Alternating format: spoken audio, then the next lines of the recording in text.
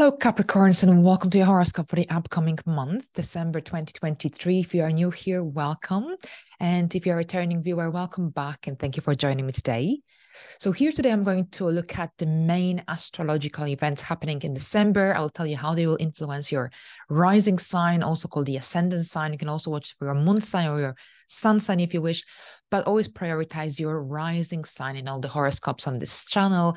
This is Western Astrology Tropical Zodiac. And here we start with Venus moving into Scorpio. And here, Venus in Scorpio, that's your 11th house. So actually, even though Venus in Scorpio is not the strongest, but here in the 11th house, you get this lovely boost when it comes to your friendship circle, social activity.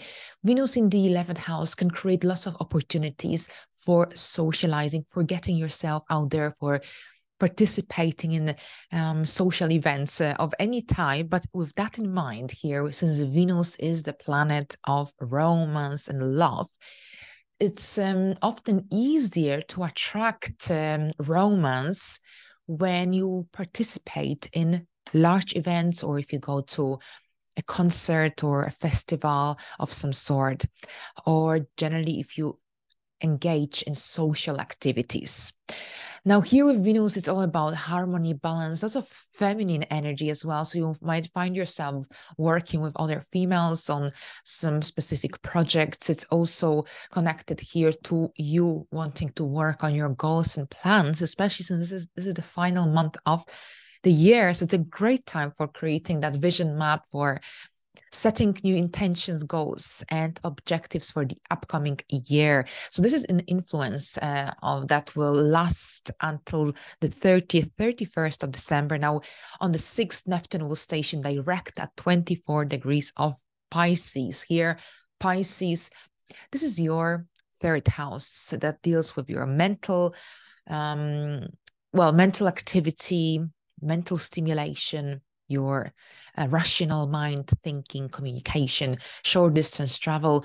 When Neptune regains its strength here, all the traits connected to Neptune suddenly become alive. And this is, of course, this is fantasy, poetry, music. So this is actually very positive when it comes to um, cr- that creative side of psyche because it's um, be- becomes awake and activated. So a great time for being creative, for um, writing, uh, blogging, for doing artistic things. So it's all about making sure that everything is clear, that you know where you stand with whatever that you're dealing with, with conversa- when it comes to conversations, exchange of emails, social interactions as well watch out for any scammers or people trying to persuade you to buy something, to um, sign up for a certain membership. If you're not sure, then perhaps um, think about it. Don't act on impulse. And on the 12th, we've got a new moon in Sagittarius at 20 degrees. And here, a new moon is about a brand new cycle here, a new cycle in Sagittarius, your 12th house the house of spirituality and the house of hidden matters, private life. Um, yes, your private life is emphasized here as well. Your sleeping your routine. So you might be establishing a new sleeping routine. You could be setting uh, yourself new goals for improving your um, life in general, but also this is connected to perhaps um, you wanting to perhaps learn about yourself on a deeper level. So this could be about purchasing uh, self-help, self-study books of any type connected to astrology, psychology, psychology, for example, numerology. This is also when you might begin yoga and meditation. And this is also connected to volunteering, charity work, but also connected to working from behind the scenes on a specific goal, project, idea. So, all these influences here connected to hidden matters, private life, are very much highlighted throughout the duration of this transit. So, here, We've got uh, the day after this um, new moon is exact. We've got Mercury stationing retrograde at eight degrees of Capricorn here. And this retrograde will end on the 1st of January 2024. The pre shadow period starts on the 25th of November. It ends on the 21st of January. So it starts in Capricorn, it ends in Sagittarius. So here, overall, with Mercury in your first house throughout December, this really truly helps with expressing yourself with more ease. So there is this need to express your thoughts, your ideas, opinions without holding on to them for too long. But at the same time, here Mercury is retrograde, this is when you will be reviewing your goals, your your objectives, your your physical appearance might come into light as well. It's not a good uh, time to have a major uh, makeover, something very, very different to the usual, because you might be dissatisfied with the outcomes. It's better to stick to the familiar, to what you know. At the same time, you could be returning to some goals, projects you are left unfinished, unresolved in the past. It's also a very common theme to reconnect with people we haven't spoken to for quite some time. It's all about also, it's a really, really good time for reviewing your uh, goals and your past achievements so that you can prepare better for the upcoming 12 months. Because here we've got a new year just uh, around the corner, and a new year always offers this amazing opportunity for new goals, new objectives, for a very fresh fresh start. So this Mercury retrograde will be a great opportunity for gaining this true understanding into what is it that you want to do and achieve in the upcoming 12 months of your life right whether this is your career that you want to change or perhaps you want to start a new course of study or perhaps if you're thinking about moving relocating which could be very much the case here with the eclipses activating your along with the nodes your fourth and the 10th house. So you could be also contemplating uh, investing your money in a property in the upcoming year. So it's a great retrograde for truly, truly get, get, um, going down deep into to your goals and objectives that you would like to achieve or get closer to in the upcoming year. Now, on um, December the 26th, we've got a full moon in Cancer on the other hand in your seventh house. So here one to one relationships, connections come into light. A full moon is about releasing, but often also with a full moon, when the moon is fully illuminated, this is when we gain a full clarity of a situation that uh, perhaps uh, seemed slightly unclear before.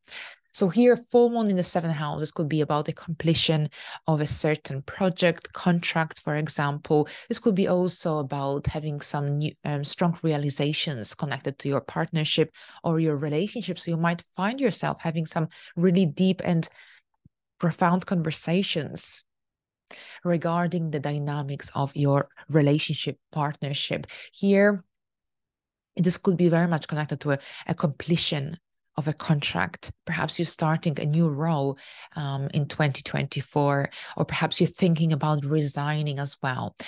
Now, pay attention when it comes to signing any important document around this time because uh, Mercury will be retrograde. So it's always important to read everything really carefully before you sign you truly significant that could change the course of your life. But here, the one one connections are very much highlighted. This could be also about moving your relationship into the next stage, into the next level. Here, perhaps you'll be um, here growing and developing a new connection. If you're single, then this full moon could really make you truly think about um, how you can attract love into your life. What can you do to change um, your status or perhaps uh, your approach to commitment relationship could slightly change as well. And perhaps you'll be implementing some um, new ideas or new attitudes towards um, commitment for example. Now on december the 30th jupiter will station direct at 5 degrees of taurus and this is your fifth house. Jupiter moving in a forward motion this is also always a good um, a good time for engaging in activities that um, increase that sense of um, satisfaction life fulfillment you've got taurus here a fixed earth sign which uh, is connected to the sensual aspects of life, but also it's connected to enjoying the simple pleasures of life. So here you've got this forward momentum when it comes to your own business, when it comes to your interests, your hobbies. And it's a we've got four and a half months here in Janu- um, in 2024, starting from January. Um, 30th of December to be more exact. And you can achieve so much here.